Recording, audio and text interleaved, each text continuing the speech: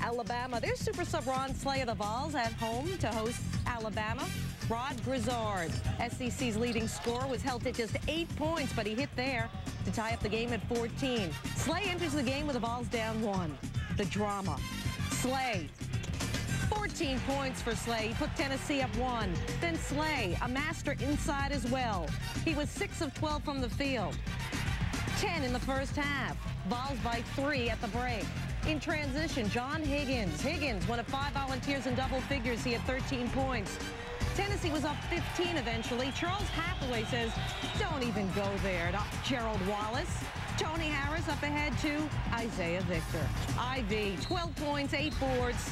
In the end, Tennessee made it look easy. The Vols 15 and 1, matching their best start since the 1941-42 season. Tennessee holds the SEC leading sniper Rod Grizzard, worth repeating, to just eight points before he fouled out with ace. The Big Ten, Indiana, and Michigan, Dean Sports Center showcase highlight worthy by you, the viewer and fans at Chrysler Arena.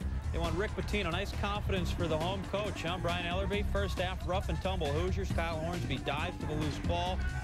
Robinson Jr. falls on his head. Hornsby's face bleeding. We returned to the sideline at halftime, but did not play again. It is hardwood after all. Later in the third, Wolverines up six. LaVell Blanchard inside for the flush. He had 21. Michigan up one at the half, 33-32. Second half, Michigan up by half a dozen. Josh Asselin inside the hoop and the foul. He had 14. Wolverines up nine. 30 seconds left. Michigan up four, trying to ice it.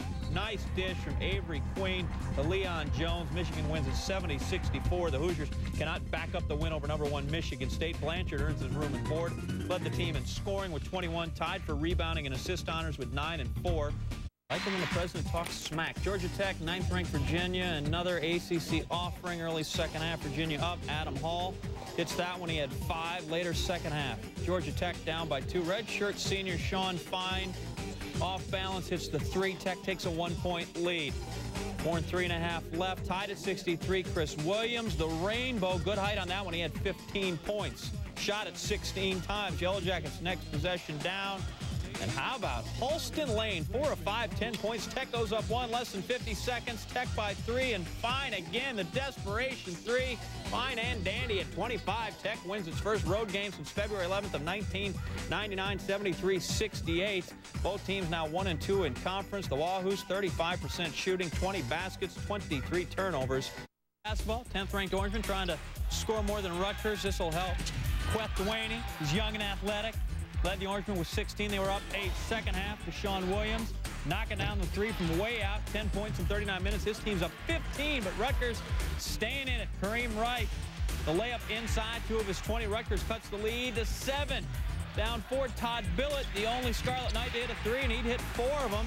Jim Boeheim cannot believe it. 14 zip run. Rutgers down one. Six seconds left. Billett going to miss the three. Wright's there. Meaningless hoop at the buzzer. Syracuse survives 64-60. Look at it again. Damone Brown nearly fouls Wright. Son, just get out of the way and let's go back to Syracuse, please. They hold on. 64-63. Orangemen survive. Second half collapse to remain perfect in the Big East. Syracuse. So is Maryland. Then the Terps watched it a few more times to prepare for Wednesday night's clash against Carolina. How did UNC prepare for Maryland? By forgetting the win over Wake. Said Tar Heels coach Matt Doherty, if you enjoy something too much, you're going to get smacked the next time you go on the court. Here we go. Hey, look who's in the house. Former Terp, Stevie Franchise. Second half, Tar Heels simply turned a four-point deficit into a 12-point lead. On plays like this, Jason Capel, 13 points for him, three assists for Joseph. Meanwhile, Chris Lang blocked by Lonnie Baxter. Joseph Forte, Julius Peppers, blackout. Under two minutes to go. Drew Nicholas. Nicholas blocked one of five by Brendan Haywood, and then Forte preaching it's only one rule, I will not lose. North Carolina up 10. They were up eight under a minute to go. Scramble. Terrence Morris, Juan Dixon. Dixon, 22 points. Maryland down five. Peppers to Forte. 20 of his 26 came in the second half.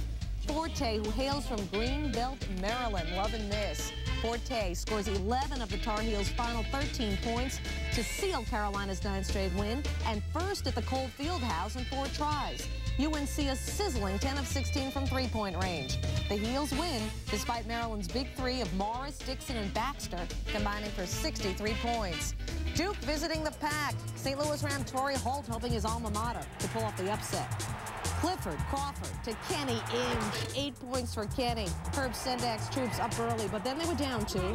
Ron Kelly. Kelly blocked by Shane Battier. One of three blocks for Shane. Here we go the other way. Battier jumping off the deep end. He was 6 of 11 from three-point range, 22 points, 6 boards, and then more dominance. Mike Dunleavy will find Jason Williams not scared of heights. Oh, boy. And then let's go coast to coast, shall we? With Crawford, who was just feeling it. 10 points for Crawford. Pat cut it to 8. Coach K, is he ever worried? Pat down six, five minutes to go. Don't worry. Jason Williams is ferocious. Two of his 22.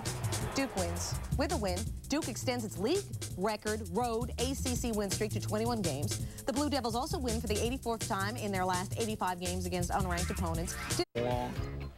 First half game time. Marcus Taylor, Charlie Bell is there to make the rebound. He had 15 points. Later, Jason Richardson misses. Charlie Bell is there for the tip. And offensive rebounding is nothing but effort. Effort is the key to success. Zach Randolph getting it. Michigan State up 41-24 at the half. Second half, Spartans up 18, and they continue to crash the boards. Randolph going to miss. Andre Hudson. I have Windex. Spartans up 20. Later in the fourth, Bell will miss. That's another rebound opportunity. Andre Hudson, BMOC. 19 points, 9 rebounds, a career high, 5 assists. Spartans win it by a count of 84-53. They out-rebound Northwestern 46-17. Their winning streak is now one. Freshman Randolph and Marcus Taylor made their first starts. Randolph goes for 11 points and 7 boards. Taylor adds 4 points and 7 assists. Should be noted the Wildcats did lead for the first 80 seconds. More league night for the Big Ten. Wisconsin, Purdue. Second half tied at 62. Maurice Linton inside. He got tough, too. He had 7 points. Badgers up a deuce. Less than two minutes to go. Now knotted at 64, Rodney Smith. Little pump fake. Up he goes. He'll drop that. He had 19. Purdue up 66-64. Less than a minute, Purdue protecting the two-point lead. Carson Cunningham, the drive, lays it in, and the foul. Startimus, the Bussimus. He had eight points, and Purdue wins at 73-67. Badgers drop their second in a row, both of them Big Ten road games. Boilers still perfect in league play. Their second victory over a ranked team beat number one Arizona back in late November. SEC, Florida, Mississippi State Gators, minus Teddy Dupay and Brent Wright. Mississippi State down seven. Antonio Jackson to the cup, gets it to drop. Mississippi State down five. Next possession for the Bulldogs. Jackson. We saw him from in close. How about shooting from far? That's behind the line. You get three points for that. Jackson, 17 points. 11 seconds to go. Jackson driving, throwing it up, misses, but look at that. Sweet putback by Derrick Zimmerman. Game tied at 79, four seconds to go. Brett Nelson. A huge jumper falling away. He hits it, gives Florida the lead. 81-79. It would finish 81-80. Nelson's gamer capped a 19-point second half for the sophomore. It was important down there at the Hartford Civic Center. UConn leads 29-20 when Isaac Hawkins slams one home. Second half, all UConn. Fits Chad Johnson drives, but look at Souleymane Wane with the swat. He had two blocks. UConn three as a team. Later in the second half, and clearly they're playing on like eight and a half foot rims down there because Edmund Saunders had no trouble. 15 points, 7 of 8 shooting. UConn up 20. Four and a half left to play. Wane gets the rebound. Look at that. Yeah, definitely eight and a half foot room. They wore out the rack. Wane, nine points. UConn wins at 73-53. That's a goal. Huskies working down low, outscoring the Panthers 46-26 in the paint. Taliek Brown, 10 points, 10 assists. Joins teammate Caron Butler as the only UConn freshman to record back-to-back 10-plus assist games. Georgetown still undefeated. Pictures from Bud Walton Arena, Mississippi and Arkansas. Arkansas's Alonzo Lane. His team led by as many as 12 in the first half, but Ole Miss it's the last eight before intermission. Aaron Harper with three, 24-20 at the break. Second half, Jason Holmes for three. He had six points, and Ole Miss goes on to win it in a low-scoring game, 53-48. In fact, this one was 40 minutes of hell just to watch. Rebels Ole missed uh, 19 of their first 23 shots, and the Hogs hit just two of 14, 12 of them threes in the final five minutes. Longhorns trying to make it 22 straight at the drum by beating Kansas State. Sloppy first half. Kelvin Howell, sloppy pass. Oh, look at the coach. Where's Roe Blackman? Texas playing just as poorly. Brandon Mouton shoots. Misses. You know, kicked away. Using one of those newfangled round basketballs, apparently. Rick Barnes not happy. His team six first half field goals. Fans didn't do any better. Not happy. Texas in the second half, Brandon Mouton over three to cap a 12-zip Texas run. Wooldridge K-State can't stand to watch. Wins the flight back to Manhattan. Texas wins at 63 to 41. To do that, the Illini had a win on the road in Iowa, a place where Illinois has won just five of their last 21 visits. If that's not challenging enough, this was just their third game away from Assembly Hall that wasn't played at a neutral site. To Carver Hawkeye Arena we go. Under 12 minutes left in the first half. Ryan Hogan kick it out. Luke Recker. Hawkeyes by five. Time running out in the first half. Recker is found at home. Iowa by three. Dean Oliver, the pass deflected. Back to himself. Blackout at the buzzer. Iowa by six at the break. Second half, Illini trail by just one.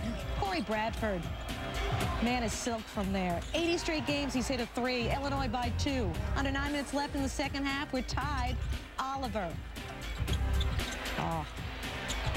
Sweet. Iowa by three. Under six minutes left. Iowa by seven. Let's see more. Luke Recker. Season high 27 points. Iowa goes on to win easily. Hey, look which team is one of the most lethal backcourts. It's Iowa. Recker, Oliver combining to score 43 points in the win. The Hawkeyes hold the outstanding Marcus Griffin to just eight points. The Illini shot a dismal 38% from the field and sank just 7 of 17 from the line. Back to the Pac-10, Arizona and Spokane playing the Cougars. Richard Jefferson, Gilbert Arenas. Gilbert Arenas, target practice, 22 points for Arenas. Moments later, Jason Gardner, 3 of his 16. The Cats were 9 of 13 from behind the arc. 6 of 6 from three-point range was Jason Gardner. Arenas, 33-17 Arizona. Arenas, 41-19 Cats at the break. Second half, Gardner, just in case you didn't think he was going all out before. Wow, he's quick. Arizona up by 30. Moments later, off the miss, Gardner. Sweet. Arizona wins big, 84 to 51. Arenas, that was a game high 22 points. Lauren Woods chipped in 17 points. State, who dressed just eight players for the game. Jason Collins turns and hits the J, but uh-oh, he traveled. Later in the first, Stanford on the break. Michael McDonald forces it, turns it over. Montgomery's team only one at the break. Second half, Casey Jacobsen simply changes the game. Takes over, puts Stanford up seven. Jacobsen jumping off the deep end. Four of five from three-point range was Casey. And then he's a thief. Nobody's going to catch him. He puts Stanford up by 11. Hey, just find Jacobsen. Michael McDonald does just that. Jacobsen, 7 of 9 from the field, 19 points in this game. Hard to believe this was a one-point game at the half. Look at the final. Jacobsen hit four threes and scored 15 of his 19 in that second half. Julius Barnes, a career high, 15 points off the bench. First time since 1962 that USC is ranked and UCLA is not when they played each other. Earl Watson, for the love of elevation, Dan Gadzuric. Seven points for Dan. USC battles back down by seven. The Trojan Sam Clancy. Look out, clear the way. Clancy 12 of 16 from the field, 31 points. Just over a minute to play, Trojans down six. David Bluethenthal likes the view. Trojans pull within three. The next possession, Bluethenthal on D gets a hold of it, and Brian Scalabrine throws the ball away. USC with 28 turnovers in the game. 13 seconds left. Trojans down three. Bluethenthal, chance to tie. Billy Knight says, that's nice. Blocks it, and that's it. UCLA takes out the Trojans by five. Sam, Sam Clancy led everybody with 31 points.